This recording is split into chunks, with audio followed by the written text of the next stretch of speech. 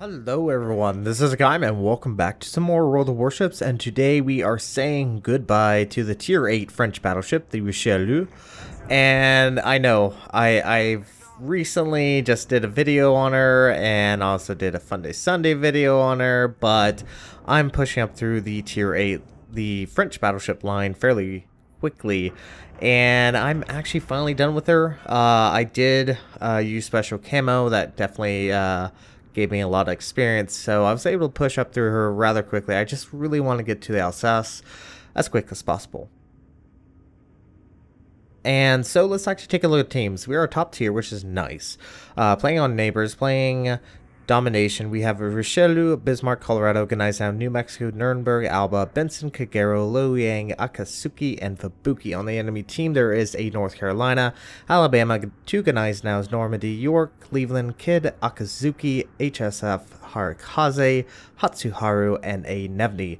I am joined with Murakamo, uh, also named also known as Jorge, as well as Imperial uh, in this battle. Uh, Murakamo, and I'm I know I'm mispronouncing that name, so I do apologize. Uh, is in the Bismarck, and Imperial is in the Loyang, and oh boy, we have a good team. We have a good matchmaking for us, top tier, and as usual, tier 8 always experiences the whole aspect of being up tier to tier 10, so it's actually really nice being top tier for once.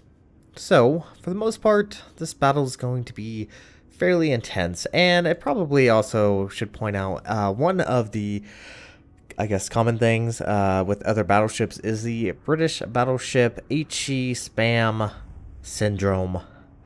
You're going to be seeing a lot of battleships using HE, and it's just, it's just perturbs me.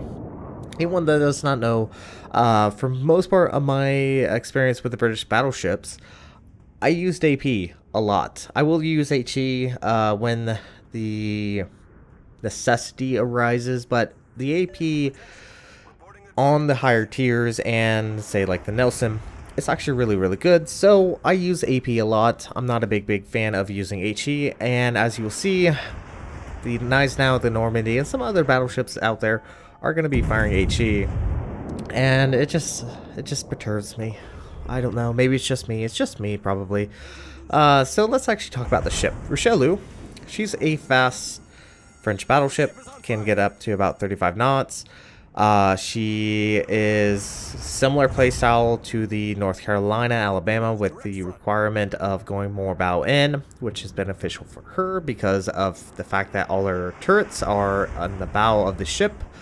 Um, and very similar to the Richelieu in a lot of ways, but the dispersion is just a teensy bit better uh, than the Dunkirk, that's to be certain. So, let's actually talk about her guns. First off, guns are the same size as the Bismarck and Tirpitz, 380 millimeters. Pretty hard-hitting shells, but my main complaint about these guns is due to the fact that they generally tend to overpen a lot of cruisers. I'm not saying it's the uh, exception, but it's kind of the norm with this ship. Uh, from what I've noticed when playing her is that she just generally tends to get a lot of overpens, and it's quite aggravating at times. But they're still good guns. They are very fast in the air, uh, going 830 meters per second, which is fairly decent, and they're fairly hard-hitting shells. Uh, you can obviously penetrate into the citadels of other battleships, which is fantastic, Missouris, Yamatos, etc. So they are quite nice. Now moving on to the other aspect, the dispersion's extremely winky. It can be amazing. Uh, you do have four guns per turret, so a total of eight guns, all facing forward. Only downside is you can't really fire in the rear of the ship. You can't really fight while pulling away. And it can be, at times, very dramatic on its dispersion. Uh, very dramatic due to the fact that they just generally tend to go every which way and it's not entirely reliable. Like with the Lyon and the Normandy, uh, they actually had enough shells to compensate for that dispersion, um, and he still hit fairly reliably with them. Now, one other little thing, as our team is starting to push from uh, C, and actually keep an eye on this Gneisenau versus this Cleveland. Just just kind of keep a mental note of that battle that's currently happening uh, with that Cleveland. Um, another fact of the Richelieu is she does have some decent secondaries, not as good as the Bismarck, not as good as the Tirpitz, but I mean you do have cruiser light, uh, light cruiser guns. Uh, with a spackling of some smaller caliber guns, but they face more of the stern of the ship, so the only real potential of using all three of those uh, light cruiser guns is if a ship comes up from the rear for some surprise butt sex. Now, I have taken into a rather nice position. I do have a big old island protecting my broadside. Uh, the only downside is if a destroyer manages to get back from behind as we just get our first kill, things aren't going to be uh, working out well for us. So we do have to keep in mind there might be a destroyer. There is a kill Kidd uh, that is uh, actually a really good player. So got to keep an eye out for him. But there's also a Harekaze out there as well. And I am spotted so they know where I am and I'm not really maneuvering uh, that much. I've been moving back and forth. And we have just lost our Fubuki. But you can see at the moment we do have two destroyers kind of on the uh, southern side of us, right behind us. So you would think we'd have some protection, but oh boy. Alright, well the enemy team is actually doing a good job. They're actually pushing into B. Uh, they have caught up on the amount of ships uh, with us. So at the moment, they're kind of holding their ground. Uh, Gneisenau is in a very vulnerable position. He's pushed out quite heavily. He's currently fighting uh, Murakamo in the uh, Bismarck.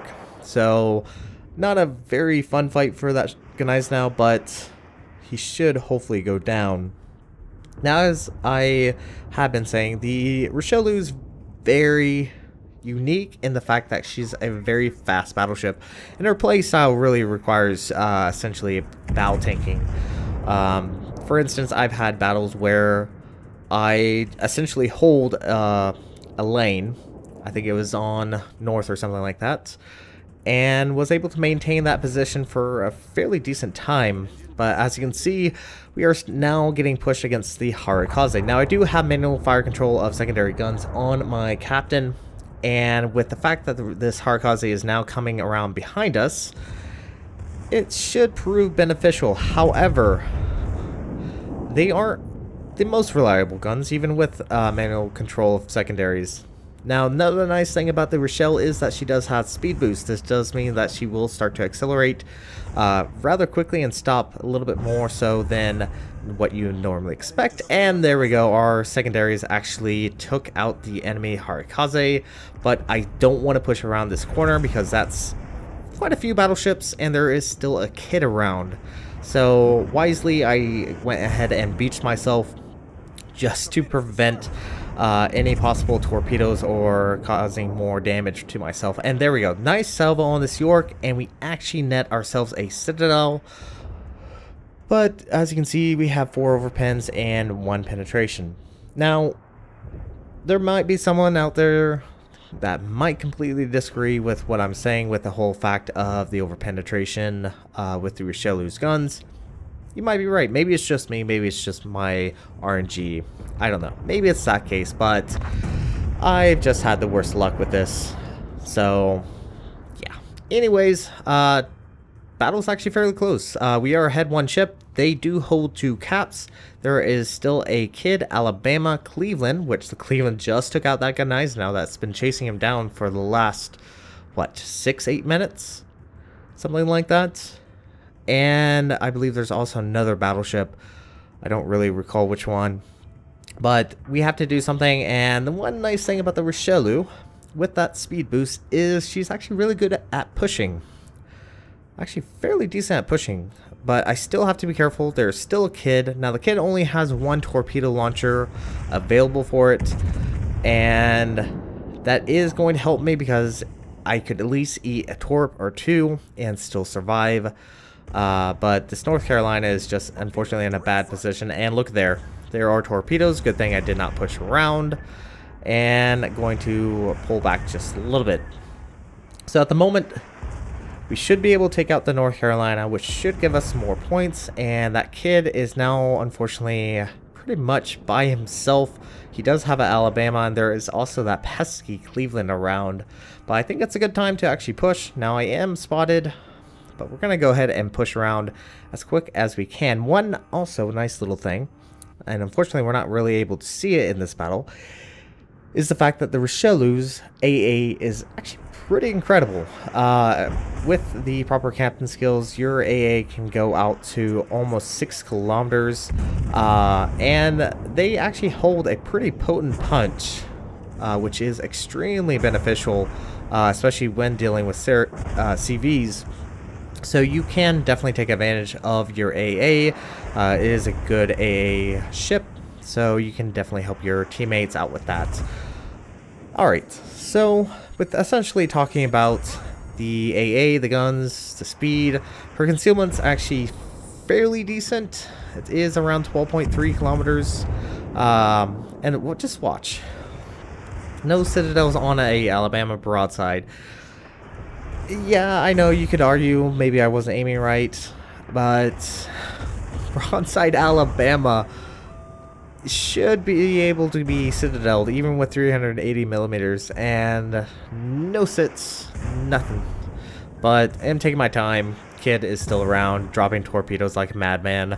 Uh, but we should be able to withstand this fire uh, from the Cleveland and should be able to take out the Alabama. There we go. That is kill number three.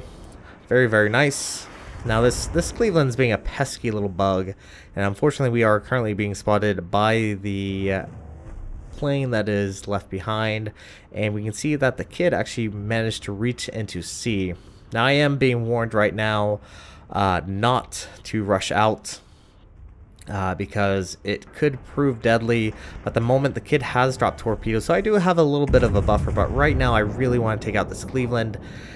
And honestly, I would normally say taking out a Cleveland as a tier 8 isn't that difficult, but I don't know, this Cleveland just proved kind of a pesk for me. He's actually doing a really good job.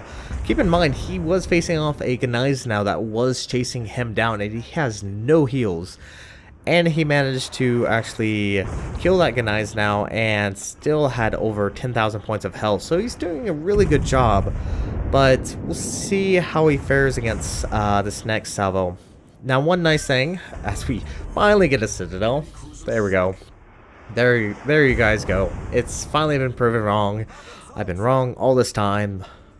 The Richelieu can Citadel cruisers. Of course it can. It, it, can definitely Citadel, but for the most part, I've just been experiencing a lot of overpens. But anyways, we have a heal up. All that's left on the enemy team is the Kidd. We are still being spotted by a plane, but at the moment, we don't quite know where he is. Now we are being detected, and I should have been paying attention. Should have been paying attention to the right-hand side. I just came around uh, this big island to the right of us uh, as we were spotted. Uh, so that should have told me where he was, but instead I was thinking he was up north. And keep in mind, the Kidd does have torpedoes, but one nice thing about the Rochelle is she's quick. And if the destroyer captain does not anticipate how quickly she can actually maneuver, she can actually dodge a fair amount of torpedoes. There we go. Took a torpedo on the torpedo uh, bulkhead, so did not sustain any flooding. And now we know where the Kidd is. He's currently being holed up behind this island, and we're actually one away from a Kraken. And I really want this Kraken. So, AP is loaded. Kidd, you are going to go down with all the fiery fury of the French. Alright, so with that, this battle is almost win. Can we get Kraken? Can we get this last kill and take home the victory. Kit is doing his very best to deal with the enemy destroyers. But nice thing about the Rochelle is she's quick and goodbye.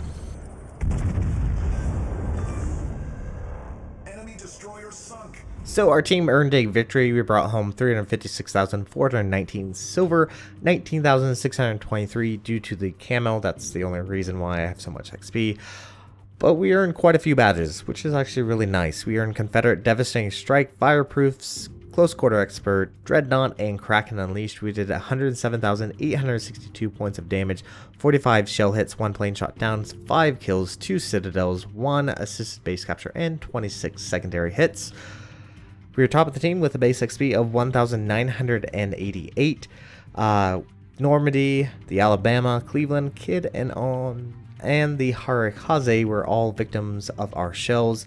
Main guns did 104,717, secondaries 3,145 with 26 shell hits.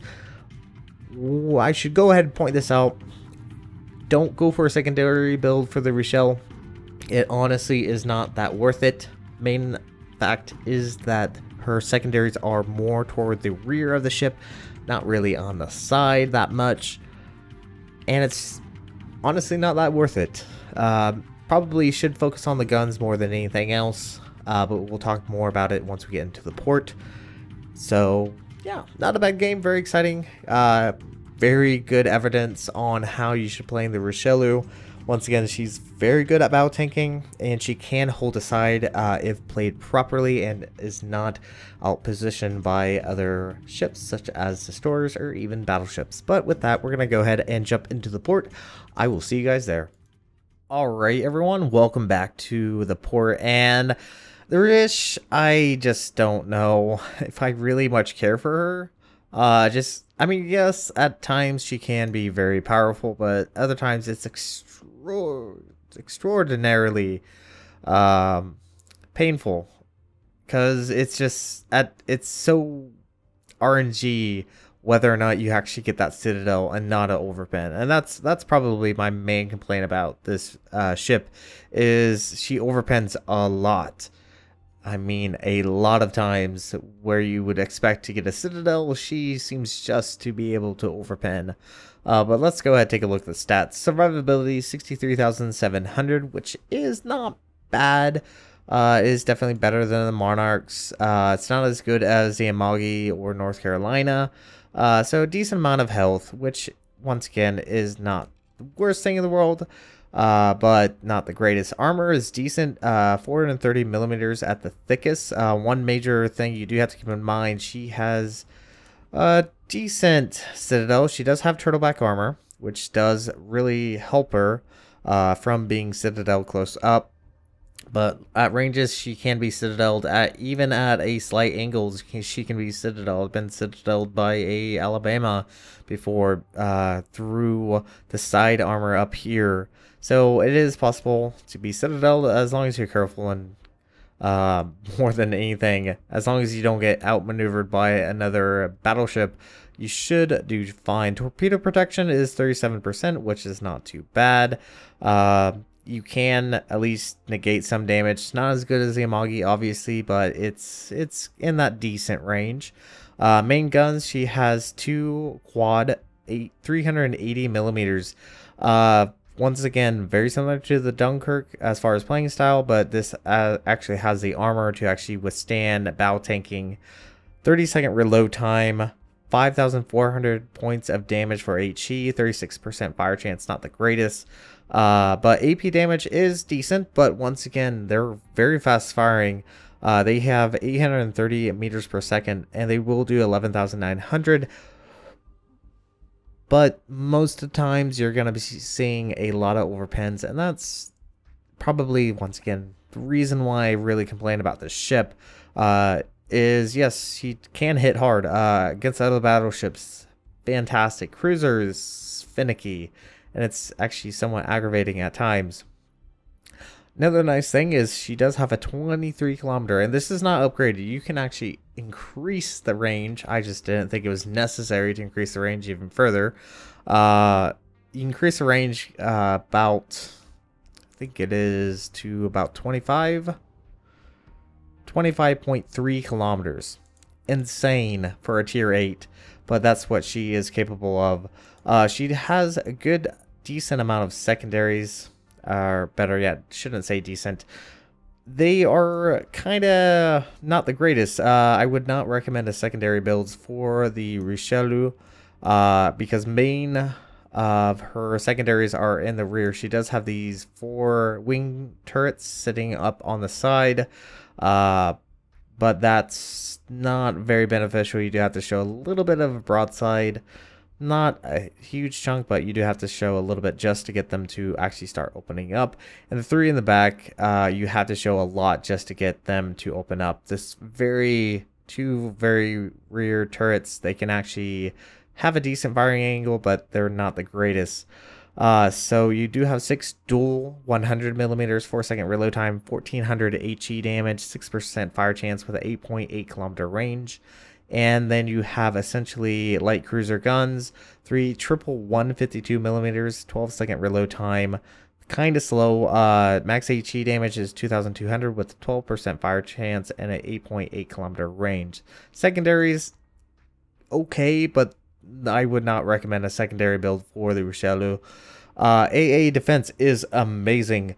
Uh, 48 single 20 millimeters, 190 average damage with 2.4 kilometer range. Then you have 14 quad 40 millimeters, average damage is 245 with a 4.2 kilometer range.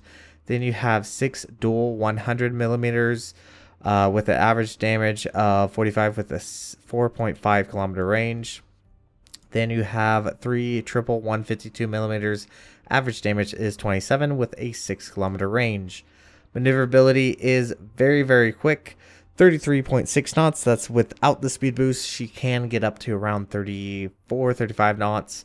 35 knots with the speed boost, which is fantastically quick. Uh, turning circle radius is decent with a 850 meter. Uh, rudder shift time is a little bit lousy. It's a little bit slower, 15.4 seconds, but it's not the worst thing in the world. Uh, concealment is decent, 12.6 kilometer range. Uh, not the stealthiest, but uh, once again, it's kind of in the middle, which is decent, but it's not the greatest in the world. Uh, while firing and smoke is 15.4 kilometer range. Moving on to the upgrades. Uh, as far as the ship itself, I would highly recommend go for the B-hull first. This improves your AA, reduce your rudder shift time, and increase your health. Then go for the engine uh, upgrade. This increases your speed from from 31.9 knots to 33.6. And then if you really feel like it, go for the range upgrade. 25.3 kilometers. Almost very few battleships in the game have that range. And especially at tier 8, it's fantastic. Uh, though you may not always hit anything at 25.3 kilometer range or very accurately, it's still there if you want it. Moving on to the uh, modifications, uh, main arms mod 1. Then I have gone for DAMCOM system mod 1, aiming system. Once again, you can go for a secondary build, but I don't really recommend it on the Rochelle. Uh, secondaries are not the greatest uh, to really benefit for that. Uh, then damage com system mod 2 and concealment expert as usual. Captain is actually almost fully uh, specced up. You probably could opt out priority target. I really just like the skill. You could easily go for preventative maintenance, uh, especially if you are considering a full secondary build. Uh, then expert marksman, superintendent, advanced firing training, especially for your AA. This is fantastic. Manual uh, fire control of secondary armaments, if you're going for a secondary build is very beneficial. Not optional, you can easily opt out for this. I just did it because this is going to the Republic. Um, so this will be a bit beneficial later on. And then concealment expert. And with the last point, obviously, you can obviously go for the preventative maintenance. But with that, we are saying goodbye to the Richelieu and we are moving on to the Alsace. So this is going to be it for this video. If you like what you saw, hit the like and subscribe button. You guys have a great and fantastic day. Zaijian.